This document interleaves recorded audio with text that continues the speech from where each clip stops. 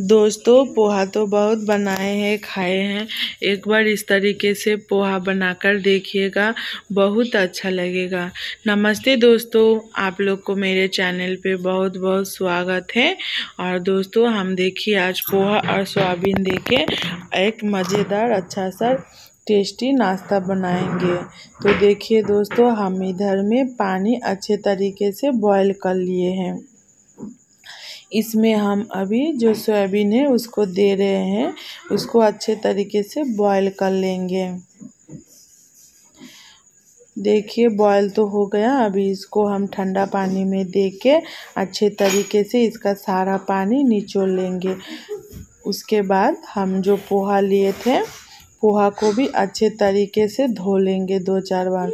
धोने के बाद देखिए, हम पानी झड़ा लिए हैं। अभी देखिए बहुत पानी निकल गया। और इधर में हम टमाटर प्याज चिल मिर्चा गाजर बीन्स काट लिए हैं। आप लोग के पास बीन्स रहे कैप्सिकम रहेगा तो दीजिएगा मेरे पास नहीं है तो इसीलिए हम नहीं दे पाए हैं। जो जो सब्ज़ी आप लोग को पसंद है सब दीजिएगा बहुत अच्छा लगता है। तो इधर में देखिए मेरा कढ़ाई भी गर्म हो गया।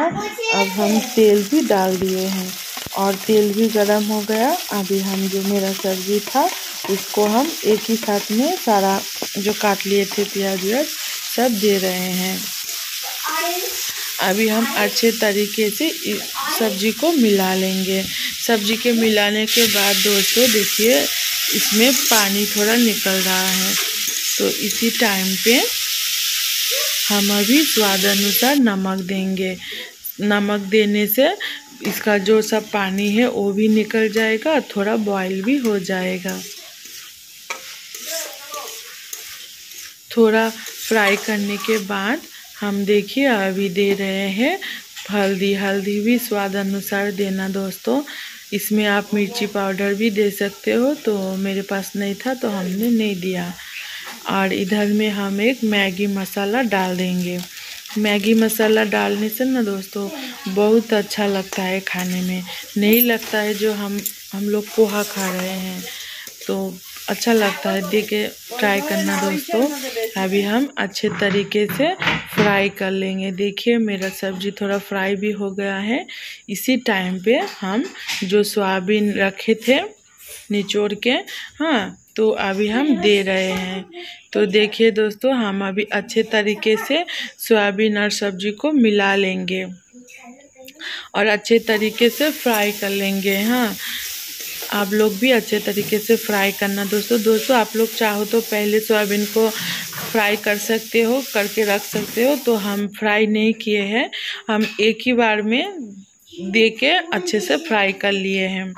अभी हम देखिए, मेरा सब्ज़ी और जो सोयाबीन है, वो मेरा भूज गया है। अभी हम इसी टाइम पे जो हम पोहा रखे थे धोके तो उस पोहा को हम अच्छे तरीके से दे रहे हैं।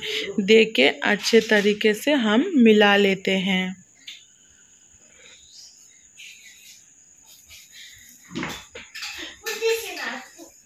देखिए दोस्तों, हम अच्छे तरीके से पोहा को मिला लिए हैं सब्ज़ी के साथ। अभी हम इसको अच्छे तरीके से फ्राई करेंगे जब तक ये फ्राई ना हो।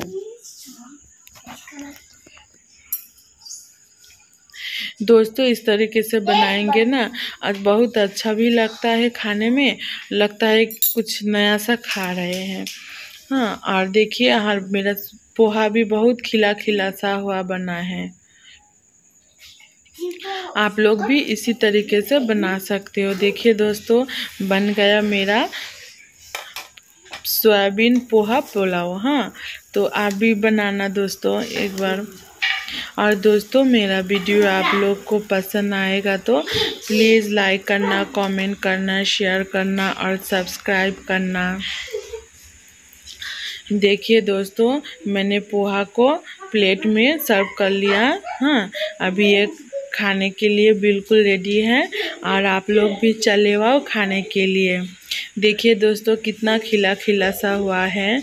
और दोस्तों, ये आप सुबह का टाइम पे खा सकते हो डिनर पे भी खा सकते हो इवनिंग स्नैक्स समझ के भी खा सकते हो। पेट भी भरेगा और बहुत अच्छा भी लगेगा। बाय दोस्तों।